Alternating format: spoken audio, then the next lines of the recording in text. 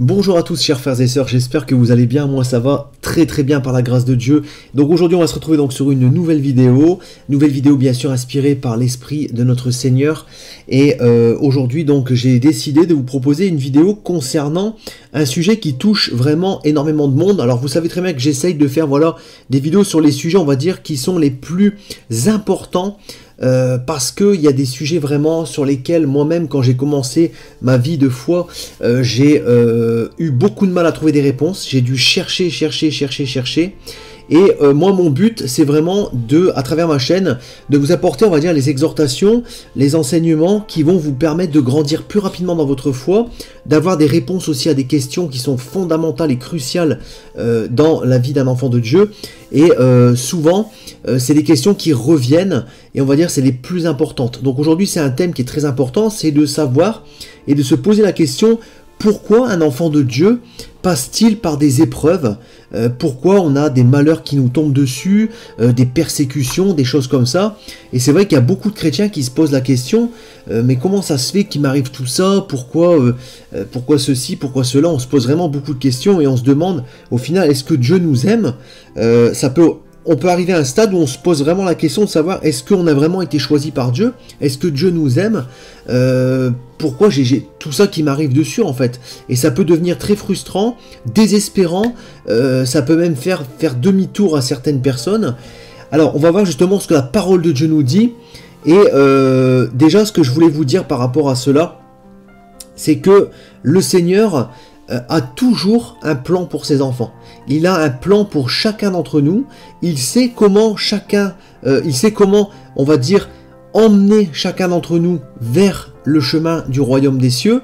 Et le but de Dieu, c'est de sauver toute l'humanité. Malheureusement, euh, nous savons très bien que toute l'humanité ne sera pas sauvée euh, pour différentes raisons, bien sûr. Je pense que je ne vais pas vous les répéter, mais euh, voilà, pour différentes raisons, comme notamment ben, les gens qui ne veulent pas, qui renoncent, hein, qui veulent suivre le monde, qui refusent de suivre Dieu parce que c'est trop difficile, les gens qui n'arrivent pas à abandonner le péché, qui continuent à, à se vautrer dans le péché parce qu'ils n'ont pas la volonté de, plaire à Dieu et cette envie voilà de, de, demander l'aide du Seigneur pour s'en sortir. Euh, voilà, il y a différentes catégories de personnes, donc ça je pense que vous le savez déjà très très bien. Alors pour rester dans le sujet, on va dire, euh, vraiment, le Seigneur, comme je vous disais, connaît chacun d'entre nous, avant même que nous soyons nés, il vous connaissait déjà. Et par exemple, on va lire donc différents chapitres qui vont nous expliquer pourquoi Dieu permet qu'il y ait des épreuves. Alors déjà, sachez une chose, c'est que le Seigneur Jésus nous a bien expliqué que le monde l'avait haï et que automatiquement le monde nous haïra également. Ça, c'est quelque chose euh, d'inéluctable. Généralement, lorsque l'on donne sa vie au Seigneur, euh, on a des gens qui se moquent, on a des gens qui nous insultent, on a des gens qui nous tournent le dos, on perd nos amis parce qu'on n'est plus dans les délires du monde, on n'est plus par exemple dans l'alcool, dans la cigarette, donc les gens ben, nous, trouvent, plus intéressants, nous trouvent même quelquefois euh, lourds et en kikinant voilà avec avec notre Seigneur Jésus ou même quelquefois même ringard. Donc là on a déjà un premier point que le Seigneur Jésus nous a annoncé. il nous a aussi expliqué que nous devions renoncer à nous-mêmes, porter notre croix et c'est ça aussi justement se faire rejeter du monde, c'est le fait de porter sa croix avec notre lot de, de moqueries, de souffrances dans ce monde, qui ne sont pas toujours faciles pour certains à supporter. Mais le Seigneur nous expliquait que si nous résistions, si nous tenions ferme par rapport à tout cela, nous avons l'assurance de la vie éternelle et il nous donnera à la fin la couronne de vie. Donc imaginez-vous, quelques minutes, vous êtes, vous venez de rendre l'âme, vous venez de rendre votre dernier souffle, euh, et vous vous retrouvez face au Seigneur. Le Seigneur vous remet la couronne de vie, il vous dit, je t'agrée dans mon royaume pour l'éternité. C'est là le plus beau cadeau et c'est là notre espérance sur lequel nos, yeux doivent rester fixés en permanence. Et vous allez voir que Dieu dans sa parole a, fait la même chose avec notamment le peuple hébreu euh, et il a exhorté euh, à plusieurs passages différents de tenir ferme et que c'est justement ces épreuves par lesquelles nous passons qui font que nous allons nous améliorer. Alors on va commencer par un premier chapitre dans Deutéronome chapitre 8 au verset 1. Alors on va le lire tout de suite. Donc Deutéronome chapitre 8 au verset 1 à 5. Vous observerez, donc là c'est le Seigneur qui parle au peuple hébreu, et sachez une chose, c'est que on peut pas dire que l'Ancien Testament n'est plus d'actualité, parce que l'Ancien Testament, Dieu, sachez une chose, c'est que Dieu n'a pas changé. Dieu est toujours le même, était toujours le même du temps des Hébreux comme de notre temps. Et euh, il ne change pas. Parce que sinon, ça serait vraiment quelque chose de compliqué, parce qu'un coup il dirait A et lendemain il dirait B. Dieu a toujours été le même, et il souhaite que les hommes continue à euh, observer euh, ce qu'il disait déjà dans l'Ancien Testament. Donc, vous observerez et vous mettrez en pratique tous les commandements. Alors, le Seigneur nous dit aussi, dans euh, notamment le Seigneur Jésus, nous dit clairement, si vous m'aimez, vous garderez les commandements. Donc, on voit très bien cette volonté qui est exactement pareille que dans l'Ancienne Alliance, que je vous ai prescrit aujourd'hui afin que vous viviez, que vous vous multipliez et que vous entriez en possession du pays que l'Éternel a juré de donner à vos pères. Donc là, le Seigneur prépare le terrain et demande clairement au peuple hébreu d'observer les commandements, donc de les mettre en pratique, hein, voilà, euh, et ensuite de... Euh, et c'est une condition afin qu'ils se multiplient, qu'ils vivent et qu'ils entrent. Dieu demande vraiment ça comme quelque chose de primordial et leur dit clairement, c'est une condition. Ensuite, il dit Souviens-toi de tout le chemin que l'Éternel ton Dieu t'a fait faire pendant ces 40 années dans le désert, afin de, euh, l'humilier et de t'éprouver, pour savoir quelles étaient les dispositions de ton cœur et si tu gardais ou non ses commandements. Dieu nous met à l'épreuve. Dieu nous met à l'épreuve, on le voit clairement dans ce passage. Dieu nous met à l'épreuve pour voir si nous nous humilions pour voir si nous cherchons après lui, pour voir si nous obéissons à ses commandements et si nous sommes constants, si nous sommes, si nous avons un cœur qui est disposé à garder les commandements, à obéir. Et ça, aujourd'hui, nous sommes toujours dans ce même principe. On continue. Il t'a humilié, il t'a fait souffrir de la faim, il t'a nourri de la manne que tu ne connaissais pas et que tu n'avais pas connu. Euh, euh, et que tes pères ne t'en avaient pas connu, afin de t'apprendre que l'homme ne vit pas de pain seulement, mais que l'homme vit de tout ce qui sort de la bouche de l'Éternel. Là, le Seigneur, en fait, a fait passer le peuple hébreu par le feu, euh, par la souffrance, par l'humilité, par euh, le manque de nourriture à la fin, et automatiquement, il, il leur a expliqué que tout cela était dans le but que vous vous souveniez que toutes ces souffrances que vous avez eues, eh ben, sont faits pour votre bien. Sont faits pour votre bien et que vous ne pouvez pas vivre seulement de nourriture, mais de toute parole qui sort de la bouche de Dieu. Donc par l'obéissance au commandement notamment. Donc là, Seigneur, voilà, a formé le peuple hébreu en quelque sorte pendant ces 40 ans dans le désert, afin qu'il soit, on va dire, qu'il se prépare euh, à l'obéissance. Malheureusement, ça ne s'est pas passé comme ça parce qu'ils se sont rebellés. Mais euh, en tout cas, voilà, le Seigneur a cette volonté de, de transformer euh, ces, personnes et euh, de les exhorter, enfin de les pousser, on va dire, à devenir des gens qui vénèrent le Seigneur, qui obéissent au commandement et, et qui ont, on va dire, de la reconnaissance. Ensuite, donc ton vêtement ne s'est point usé sur toi et ton pied ne s'est point enflé pendant ces 40 années. Donc là, on voit bien que le Seigneur a pris soin justement de ce peuple. Reconnais en ton cœur que l'Éternel ton Dieu te châtie comme un homme châtie son enfant. C'est exactement le même principe qu'un homme qui châtie son enfant, donc avec amour. Euh, un père qui châtie son enfant n'est pas un père, un mauvais père. Au contraire, c'est un père qui veut que son enfant reste dans le droit chemin et qu'il réussisse sa vie. Alors si cet enfant n'est pas châtié, il partira tôt ou tard à la dérive et il ne réussira pas sa vie et le Père aura échoué. Donc Dieu nous permet euh, ces souffrances afin vraiment de nous façonner comme un potier façonne son œuvre. On le voit notamment dans 1 Pierre chapitre 1 euh, du verset 6 à 9. C'est là ce qui fait votre joie, quoique maintenant, puisqu'il le faut, donc c'est obligatoire, vous soyez attristés pour un peu de temps par diverses épreuves. Donc le Seigneur nous dit, il le faut. Vous allez devoir passer par des épreuves qui vont vous attrister, afin que l'épreuve de votre foi, plus précieuse que l'or périssable, donc la foi que nous avons envers le Seigneur est bien plus forte que n'importe quelle pierre précieuse, notamment l'or qui est périssable, qui périra, hein, euh, et qui cependant est euh, éprouvé par le feu, et pour résultat la louange, la gloire et l'honneur lorsque Jésus-Christ apparaîtra. Donc on voit bien là dans ce passage que notre foi fera en sorte quand nous allons passer par les épreuves, c'est comme l'or qui passe par le feu, va faire que nous allons continuellement rendre gloire, honneur et louange au Seigneur lorsqu'il paraîtra. C'est vraiment un passage par le feu que Dieu permet afin de nous façonner comme l'or est façonné, à part que l'or est périssable et que notre foi est bien plus importante, Dieu nous façonne et nous permet de passer par ce feu afin d'être préparés lorsque Jésus apparaîtra. C'est une préparation que Dieu permet.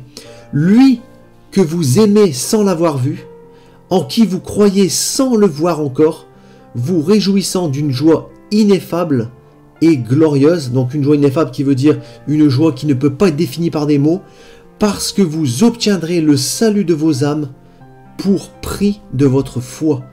Donc voyez, Dieu nous permet de souffrir, nous permet des épreuves pour nous façonner, afin que lorsque le Seigneur Jésus paraîtra, nous sommes prêts à entrer dans son royaume, et que justement cette foi pour, pour notre Seigneur que nous n'avons jamais vu euh, et que nous n'avons jamais entendu, et eh bien cette, cette foi nous permette d'obtenir, une fois qu'elle sera bien affermie, la vie éternelle. Donc c'est vraiment une promesse extraordinaire dans ce verset qui est vraiment extrêmement puissant. Ensuite, dans Romains chapitre 8, verset 28, nous savons du reste que toute chose concourt au bien de ceux qui aiment Dieu, de ceux qui sont appelés selon son dessein. Le plan parfait de Dieu, c'est d'appeler ses enfants et que toute chose, même les choses mauvaises qui passent dans notre vie, concourent au bien de ceux que Dieu aime. Donc lorsque vous passez des épreuves, glorifiez le Seigneur parce que ces épreuves sont là pour vous façonner, ces épreuves sont là pour vous faire grandir dans votre foi, ces épreuves sont là pour vous affermir et vous permettre d'être digne, saint et irréprochable lorsque le Seigneur paraîtra et que vous puissiez par la même occasion obtenir la couronne de vie. On le voit dans Jacques chapitre 1 verset 12. Heureux l'homme qui supporte patiemment la tentation, car après avoir été éprouvé, il recevra la couronne de vie que le Seigneur a promis à ceux qui l'aiment. Donc là, on a ce, compte-rendu euh, du Seigneur qui nous dit clairement, soyez heureux de passer par la tentation, mais par contre, résistez-y. Le diable fuira loin de vous. La Bible nous exhorte, voilà, dans différents passages, notamment lorsque le diable rôle comme un lion, résister et il finira par fuir. Donc le Seigneur nous dit que nous soyons heureux, soyez heureux euh, de euh, supporter patiemment la tentation, qui n'est pas toujours facile, c'est des épreuves. Le diable finira par fuir, et après avoir été éprouvé par tout cela, après avoir résisté à tout cela, vous recevrez la couronne de vie que Dieu vous a promis. Nous recevrons donc le, la vie éternelle pour le royaume des cieux. C'est une promesse vraiment vraiment, il n'y a même pas de mots pour la définir.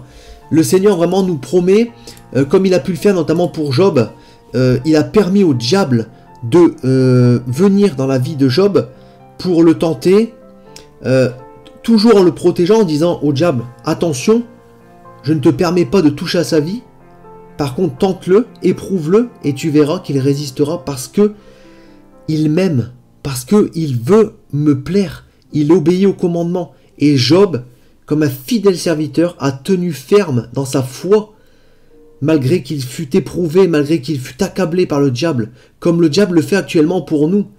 Et c'est pour ça que la Bible nous dit, soyez saints parce que je suis saint. Soyez irréprochables, irrépréhensibles. Euh, lavez vos vêtements. Et en fait, lavez vos vêtements, bien sûr, dans le sang du Christ. Hein. Euh, et en fait, tout ça a pour but, comme on vient de lire dans ces versets, de nous préparer à l'entrée dans le royaume des cieux, euh, à nous façonner comme euh, un potier façonne son œuvre. Donc quelquefois Dieu brise, quelquefois Dieu nous, euh, nous étreint dans, dans, dans, les, tentations hein, que le diable qu'il permet donc au diable de venir faire dans nos vies. Mais Dieu ne nous éprouve pas au-delà de nos forces. Il connaît nos limites, donc il laissera toujours, bien sûr, il surveillera toujours comment le diable agit. Et euh, le Seigneur permet ces choses-là afin que nous grandissions dans notre foi, afin que nous nous préparions à l'entrée dans son royaume, et afin tout simplement que nous ayons la vie éternelle. Si Dieu n'agissait pas ainsi, par nos propres forces, nous n'y arriverions pas, et malheureusement, euh, le diable nous écraserait. Donc, nous devons, avec l'aide de Dieu, prier sans cesse, euh, rendre grâce à Dieu lorsqu'il nous arrive des malheurs dans nos vies, parce que nous savons que le Seigneur agit de la sorte pour nous façonner. Et euh, voilà aujourd'hui ce que je voulais vous dire sur ce thème qui est quand même très important. Parce que voilà, il y a beaucoup de chrétiens qui se posent la question, oui mais je suis le Seigneur, je comprends pas, il m'arrive plein de malheurs et euh, ça peut décourager. Sachez que le diable va essayer de vous décourager, va essayer de vous dire regarde ton Dieu ne t'aime pas, il va vous mentir tout simplement comme il le fait toujours, parce qu'il est menteur depuis la fondation du monde. Dès le commencement, il a été menteur. Euh, et il n'y a pas de vérité en lui. Donc euh, prenez courage mes frères et sœurs. Vraiment prenez courage. Dites-vous que il y a un moment ça va s'arrêter. Les tentations, les persécutions vont s'arrêter. Euh, vous serez toujours dans la joie, dans la paix. Et vous saurez, vous aurez cette joie en vous qui est indescriptible d'avoir résisté ferme au diable. Donc d'avoir persévéré dans l'obéissance aux yeux de Dieu. Qu'est-ce qui se passe lorsque l'on obéit? Dieu nous bénit. Dieu nous apporte des bénédictions dans nos vies. Il nous assure l'assurance de la vie éternelle. Il vient habiter chez nous. La parole de Dieu nous dit que le Seigneur vient habiter chez nous, qu'il fait demeure chez nous. Donc en fait, on est en pleine harmonie, en pleine relation parfaite avec le Seigneur lorsque nous résistons au diable, lorsque nous renonçons nous-mêmes, lorsque nous renonçons au péché et lorsque nous acceptons les diverses épreuves que Dieu met sur notre route afin de nous façonner et de nous préparer à l'entrée dans son royaume. N'oubliez pas bien sûr qu'il a aussi l'enlèvement de l'Église, auquel Dieu fera une séparation entre ceux qui auront décidé de suivre Dieu et de se préparer, et ceux qui seront restés un petit peu dans le monde, dans le péché. Ceux qui sont à 100% auront ce privilège d'être enlevés pendant cet enlèvement de l'Église, et seront appelés les saints du Très-Haut. Et le Seigneur Jésus a dit, celui qui vaincra, je le ferai s'asseoir sur des trônes de gloire, euh, et il jugera les nations. Rendez-vous compte de ce privilège que le Seigneur donnera à ceux qui dès maintenant se préparent et justement euh, renoncent à ce monde, renoncent à tous ces péchés dans cette, euh, sur cette terre. donc mes frères et sœurs, prenez vraiment pour joie chaque épreuve qui vous arrive. Tenez ferme, résistez au diable, résistez au péché mes frères et sœurs. Priez Dieu qu'il vous aide et battez-vous, battez-vous pour votre couronne. N'oubliez pas que la Bible nous dit aussi que seuls les violents s'emparent du royaume des cieux. Cela veut dire que ceux seuls qui vont en ont une détermination, ceux qui veulent plaire à Dieu, qui sont déterminés, comme le fut Noé, comme le fut Moïse, comme le fut Job, tous ces grands hommes qui ont donné leur vie entière au Seigneur, qui sont passés par des épreuves terribles, mais qui ont tenu ferme jusqu'à la fin, ont été agréés de Dieu Rendez-vous compte, Abraham, Dieu lui a demandé de sacrifier son fils. Imaginez-vous cette épreuve. Dieu l'a arrêté bien sûr au bon moment, mais il a testé sa foi. Et Dieu fait la même chose avec nous, mes frères et sœurs. Il teste notre foi, il teste notre fidélité, il teste notre obéissance, et il permet justement au diable de s'initier quelquefois dans nos vies, avec des limites bien sûr, comme il l'a fait pour Job, mais toujours pour une bonne raison, parce que la Bible nous dit que tout concourt au bien. Donc mes frères et sœurs, euh, voilà, j'espère vous avoir aiguillé dans cette vidéo, vous avoir donné beaucoup de réponses. Euh, sachez que le Seigneur vous aime, n'en doutez jamais. Si vous doutez de l'amour de Dieu, c'est un péché et le diable euh, se sert de ça pour vous faire tomber. Donc, ne doutez pas de l'amour de Dieu, avancez avec assurance, avancez avec fermeté contre les plans du diable. Montrez à Dieu que vous l'aimez, montrez-lui que, que vraiment vous obéissez. Et n'oubliez pas une chose, si vous agissez ainsi, vous serez dans la joie, dans la paix, et Dieu nous promet une chose, la vie éternelle. C'est pas un petit cadeau, c'est quelque chose qui est éternel. Donc voilà mes frères et sœurs, je vous souhaite de passer une très bonne journée, soyez puissamment bénis dans le nom de Jésus-Christ, notre Seigneur et notre Sauveur, et moi je vous dis donc à très bientôt pour une prochaine vidéo. Je vous aime, soyez bénis. Tout pouvoir m'a été donné dans le ciel et sur la terre. Il y a plusieurs demeures dans la maison de mon Père. Si cela n'était pas, je vous l'aurais dit, je vais vous préparer une place. Et lorsque je m'en serai allé et que je vous aurai préparé une place, je reviendrai et je vous prendrai avec moi, afin que là où je suis, vous y soyez aussi. Vous savez où je vais, et vous en savez le chemin. Je suis le chemin, la vérité et la vie. Nul ne vient au Père que par moi. Abraham, votre père, a tressailli de joie de ce qu'il verrait mon jour. Il l'a vu, et il s'est réjoui. Si vous me connaissiez, vous connaîtriez aussi mon Père, et dès maintenant vous le connaissez, et vous l'avez vu. Et je vous le dis, avant qu'Abraham fût, je suis. Seigneur, montre-nous le Père, et cela nous suffit. Jésus lui dit, Il y a si longtemps que je suis avec vous, et tu ne m'as pas connu, Philippe. Celui qui m'a vu a vu le Père. Comment dis-tu, montre-nous le Père? Cette bonne nouvelle du royaume sera prêchée dans le monde entier pour servir de témoignage à toutes les nations. Celui qui croira et qui sera baptisé sera sauvé, mais celui qui ne croira pas sera condamné. Je m'étonne que vous vous détourniez si promptement de celui qui vous a appelé par la grâce de Christ pour passer à un autre évangile. Aucun mensonge ne vient de la vérité. Sinon celui qui nie que Jésus est le Christ, celui-là est l'antéchrist, qui nie le Père et le Fils. Quiconque nie le Fils n'a point non plus le Père. Quand un ange du ciel annoncerait un autre évangile que celui que nous vous avons prêché, qu'il soit anathème. Moi, Jésus, j'ai envoyé mon ange pour vous attester ces choses. Je le déclare à quiconque entend les paroles de la prophétie de ce livre. Si quelqu'un y ajoute quelque chose, Dieu le frappera des fléaux décrits dans ce livre. Et si quelqu'un retranche quelque chose des paroles du livre de cette prophétie, Dieu retranchera sa part de l'arbre de la vie et de la ville sainte décrits dans ce livre. Ces paroles sont certaines et véritables.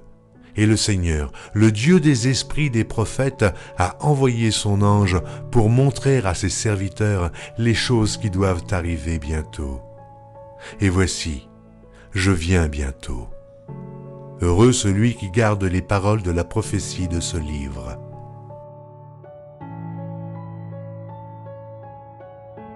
Voici, il vient avec les nuées, et tout œil le verra, même ceux qui l'ont percé. Et toutes les tribus de la terre se lamenteront à cause de lui. Oui. Amen. Je suis le rejeton et la postérité de David, l'étoile brillante du matin. Je suis l'alpha et l'oméga, dit le Seigneur Dieu, celui qui est, qui était et qui vient, le Tout-Puissant le premier et le dernier, le commencement et la fin. Que la grâce du Seigneur Jésus soit avec tous. Moi, Jésus, je viens bientôt. Vous êtes d'en bas, moi je suis d'en haut. C'est pourquoi je vous ai dit que vous mourrez dans vos péchés. Car si vous ne croyez pas ce que je suis, vous mourrez dans vos péchés.